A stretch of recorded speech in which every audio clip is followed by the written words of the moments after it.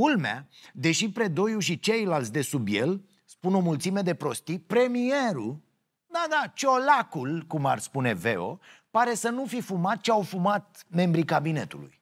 Nu pot să fiu de acord și sunt ferm convins că nici dumneavoastră că am pierdut bătălia cu drogul.